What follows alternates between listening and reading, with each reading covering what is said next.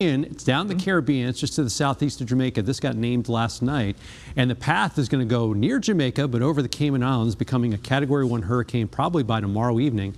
Then going across western Cuba, Oh, this Gulf water here is really warm, and it may be a high Category 2 or a lower Category 3 when it makes landfall uh, Wednesday night. Right now, might be near Tampa, Sarasota, Mm-hmm. but this is the cone of uncertainty. So the path could actually go more towards the Gulf or more towards the Bahamas, but most of the models are keen in on Florida. Bears watching. It does. In fact, here's a spaghetti plot of the models, and you can see they all kind of converge near Florida.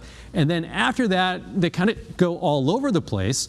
And we have a few computer models that aren't plotted on here, but this is the range by the time we get towards next weekend, anywhere from the plains all the way out into the Atlantic. So this storm may go through Tampa and then go out towards Bermuda. So a wide range of possibilities once it gets past about the middle point of the week. If it does come up near our area, that could give us some beneficial rain Friday into Saturday. So we'll keep an eye on that.